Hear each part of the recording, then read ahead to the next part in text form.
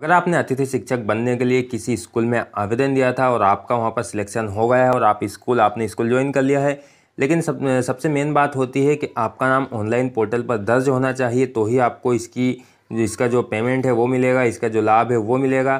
तो आप अपने मोबाइल फ़ोन से किस तरह से देख सकते हैं कि आपका नाम ऑनलाइन ज्वाइनिंग, आपके नाम की ऑनलाइन ज्वाइनिंग दी गई है या नहीं दी गई है? और अगर दी गई है तो किस स्कूल में दी गई है, वो आप ऑनलाइन किस तरह से देख सकते हैं? इसके अलावा अगर आप किसी और का भी देखना चाहते हैं तो अपने मोबाइल फ़ोन से देख सकते हैं। तो चलिए आज के वीडियो शुरू करते हैं। सबसे पहले आपको एक ब्राउज़र ओपन कर लेना है। उसमें आपको टाइप करना है जी एफ़ एम एस इतना लिखेंगे और सर्च करेंगे तो आपके सामने जो अतिथि शिक्षक प्रबंधन प्रणाली की पहली वाली लिंक दिखाई दे रही, इसको आपको ओपन कर लेना है। इसका लिंक इस वीडियो के डिस्क्रिप्शन में भी मिल जाएगा। इसके बाद में सबसे पहले आप इस पोर्टल को डेस्कटॉप साइड में चलाएँगे। इसके लिए आपको जो थ्री लाइन दिखाई दे रही, इस पर आपको क्लिक करना है।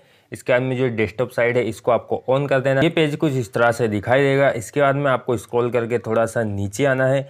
अब यहाँ पर जो ये लिखा है, कार्यरत अतिथि शिक्षक, ये वाले इसमें ऑप्शंस में आपको आ जाना है। अब इसमें कार्यरत अतिथि शिक्षकों की सूची, दो ऑप्शन है, एक जिलेवार ब्लॉकवार इसके बाद में नीचे है, कार्यरत शिक्षकों की संख्यात्मक जानकारी, जिलेवार, संकुलवार। आपको जो संकुल वाला ऑप्शन दिखाई दे रहा है, इस पर आपको क्लिक करना है। इसमें आपके संकुल में जितने भी स्कूल हैं और जिसमें जितने भी अतिथि शिक्षक काम कर रहे हैं, उन सभी के लिस्ट इसमें खुलकर आ जाएगी विथ डाइस कोड, यानी कौन सा डाइस कोड, कौन से स्कूल में कौन से अतिथि शिक्षक काम कर रहे हैं, वो सब यहाँ पर देखने को मिलेगा। यहाँ आने के बाद सबसे पहले आप जिस ज़िले में रहते हैं या फिर आपका स्कूल जिस ज़िले में आप बोला ज़िला सिलेक्ट कर लेंगे, इसके बाद में संकुल, आपके संकुल का नाम यहाँ पर आपको देख लेना है।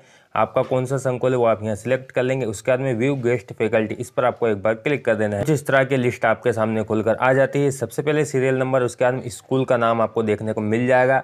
इसके बाद में जैसे स्कूल के आगे लिखा है छः से आठ, यानी ये क्लास छठी से लेके आठवीं तक है। इसके बाद में इसमें नीचे लिखा है, एक से पाँच कुछ स्कूल में एक से आठ, ये जो मतलब एकीकृत साल है, कक्षा पहली से आठवीं तक की, इसके बाद में आपको स्कूल का डाइस कोड दिखेगा। स्कूल में कौन से अतिथि शिक्षक काम कर रहे हैं, उनका नाम आपको यहाँ पर देखने को मिल जाएगा। उनका वर्ग यानी वर्ग एक में है, दो में है, तीन में।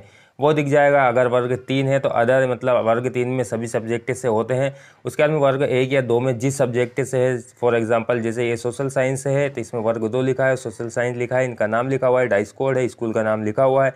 इस तरह से आप देख सकते हैं टोटल कितने हैं, वो भी आप यहाँ पर देख सकते हैं। टोटल लास्ट में जितने नाम है, यहाँ पर आपको देखने को मिल जाएँगे। यहाँ से आप देख सकते हैं कि टोटल कितने अतिथि शिक्षक इसमें काम कर रहे हैं। में अगर आपको इसमें आपका नाम फाइंड करने में प्रॉब्लम आ रही है तो या फिर आप स्कूल के अनुसार देखने चाहते हैं कि कौन सी स्कूल में कौन से गेस्ट टीचर काम कर रहे हैं, उसके लिए आपको जो थ्री लाइन दिखाई दे रही है, इस पर आपको क्लिक करना है, इसके बाद में जो फाइंड इन पेज ये ऑप्शन दिखाई दे रहा है, इस पर आपको कर देना है एक बार क्लिक तो इसमें यहाँ पर टाइपिंग करने के लिए आ जाएगा। अब अगर आपके नाम से आप देखना चाहते हैं किसी का तो आपको जो भी नाम है आपका, या फिर जिसका आप देखना चाहते हैं, उसका नाम यहाँ पर टाइप करेंगे तो देखिए यहाँ पर ये हाईलाइट हो चुका है।